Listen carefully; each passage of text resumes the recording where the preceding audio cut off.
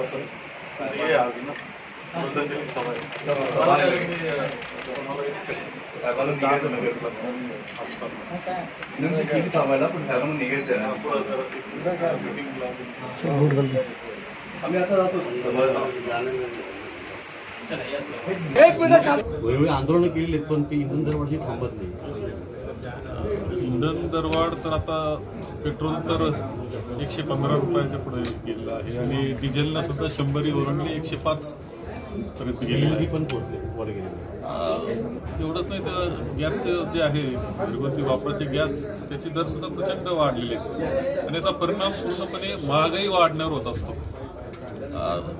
आ, यामध्ये खरं म्हणजे यापूर्वी सुद्धा कच्च्या तेलाच्या किमती ज्यावेळेस वाढीव होत्या डॉक्टर मनमोहन सिंग यांच्या काळामध्ये त्यावेळेस इंधन दर आपले कमी होते.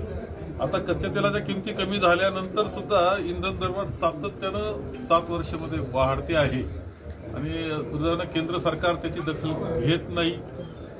एखादा रुपया वाढल्यानंतर जे आंदोलन करत होते युपीएच्या काळामध्ये डॉक्टर मनमोहन सिंग हे ज्यावेळेस पंतप्रधान होते त्यावेळेस आता मात्र ते कुठं दिसत नाहीत. ते कुठं लपून बसले असा शोध घेण्याची पाळी आलेली आहे. आणि कोणत्या परिस्थिती शेवटी सर्वसामान्याचं जीवन सुखकर करायचं असेल तर इंधन ही सगळ्यात महत्वाची बाब याच्या करता आहे की नंतर सगळीच जी भाववाढ असते महागाई असते ती वाढ होत असते. म्हणून याच्यावर केंद्र सरकारने निर्णय घेतला पाहिजे आणि दिलासा दिला पाहिजे. सर राज्य सरकार टॅक्स की? राज्य सरकारच्या जबाबदारी त्याच्यामध्ये कमी आहे. त्यापेक्षा केंद्र सरकारची जास्त जबाबदारी आहे.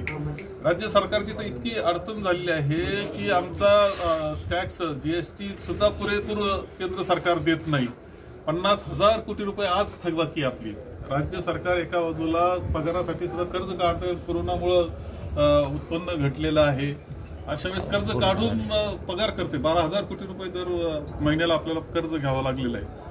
आणि केंद्र सरकार ते- सुद्धा जीएसटी सुद्धा पूर्ण देत नाही. आणखी इकडं या बाबतीत कमी करणं हे राज्याच्या तर केंद्र सरकारनंच हे निर्णय घेतले पाहिजे. ईडी आणि सीबीआय किंवा म्हणजे ओव्हरऑल ज्या केंद्रीय तपास यंत्रणा आहेत यांचे डाव यांच्यावर उलटतील असं वक्तव्य भुजबळ साहेबांनी केलेलं आहे. असं आहे की कोणत्या गोष्टीला एक प्रमाण असतं असं ह्या यंत्रणा पूर्वी तर माहिती सुद्धा नव्हत्या कोणाला. आता लहान मुलाला सुद्धा ईडी समजायला लागलेली याचा अर्थ असा की कोणती ह्या यंत्रणा आहे राष्ट्रीय पातळीवरची यंत्रणा आहे की देश शांततेनं चालण्याकरता ज्या विघातक प्रवृत्ती असतात त्यांना कंट्रोलमध्ये ठेवण्याकरता अशा काही यंत्रणा जर आपण राजकारणाकरता वापरण्यास सुरुवात केली तर त्याचे दुष्परिणाम निश्चितपणे होतील.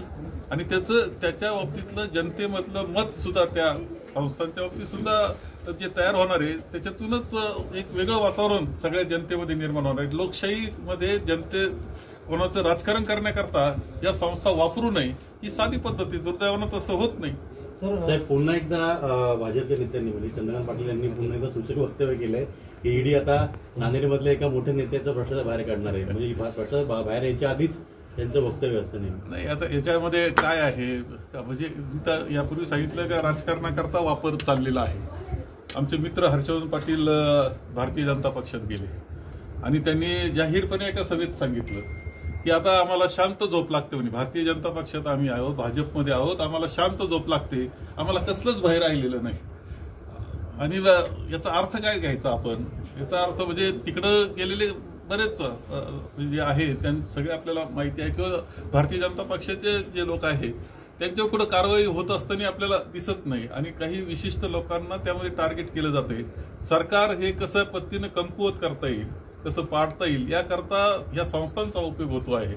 पण मला खात्री आहे की किती असा प्रयत्न केला केंद्र सरकारच्या या संस्थांनी तरी आमचं सरकार महाविकास आघाडी भक्कम राहणार आहे. तेव्हा अशाच पद्धतीने विशेष करून आपले स्थानिक पदाधिकारी इथलेही आणि ओव्हरऑल म्हणजे महा- महानगरपालिका निवडणुका निवडणुका ज्या आहेत त्या स्वबळावर लढाव्यात असं भाई जगताप यांनी मुंबईत पुन्हा एकदा वक्तव्य केलेलं आहे.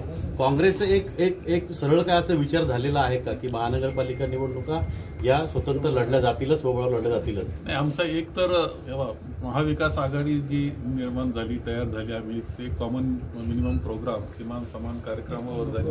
आणि भारतीय जनता पक्षाचं जे तत्वज्ञान आहे किंवा कार्यपद्धती आहे ती देशाच्या जनतेच्या हिताची नाही म्हणून आम्ही महाविकास आघाडी केली आहे. म्हणून एक गोष्ट निश्चित आहे की भारतीय जनता पक्षाला सत्तेपासून दूर ठेवण्याकरता जे जे काही असेल त्या पद्धतीनं आम्ही निर्णय घेऊ. नाही, पण स्थानिक पातळीवर एकत्रित येताना कुठे दिसत नाहीत काँग्रेस राष्ट्रवादी किंवा शिवसेना? सगळं सगळं व्यवस्थित होईल तर तुम्ही काहीच काळजी करू नका.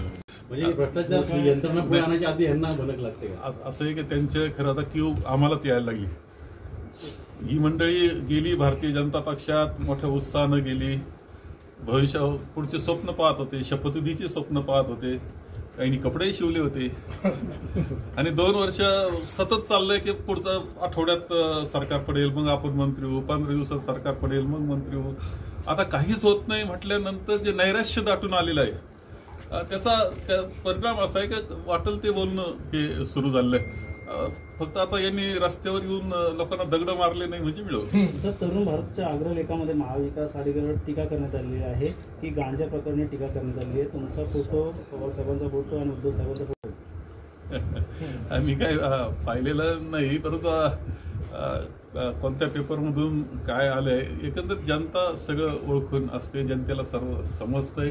महाविकास आघाडी अत्यंत सक्षमपणे चांगल्या पद्धतीनं काम करते आहेत आणि भारतीय जनता पक्षाच्या नेत्यांमध्ये नैराश्य दाटून आलेलं आहे. साहेब शेवटचे दोन प्रश्न. उत्तर प्रदेशमध्ये चाळीस टक्के महिलांना सर्व जागा राखीव केल्या जातील असं प्रियंका गांधी यांनी वक्तव्य केलंय.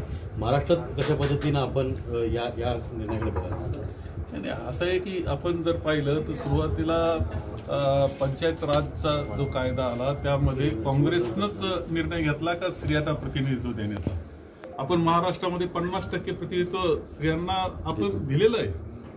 आणि त्या- त्याचा परिणाम सुद्धा आपण दिसतो की अत्यंत सक्षमपणे अनेक महिला भगिनी या दिन्या संस्थांवर काम करतायत.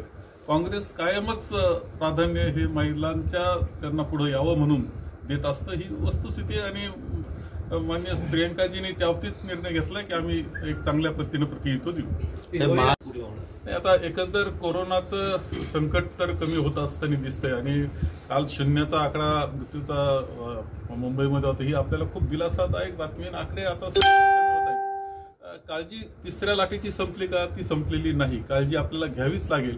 परंतु अधिवेशन सुद्धा चांगलं झालं पाहिजे. मला वाटतं नागपूरला हे अधिवेशन आता होईल आणि एक चांगलं अधिवेशन इतकं दोन वर्षामध्ये अधिवेशन न होणं आमच्यासाठी सुद्धा योग्य नाही. सरकार म्हणून आम्हाला काही जी मांडणी करायची असती ती संधी आमची जाती आहे. महिनाभर चालेल?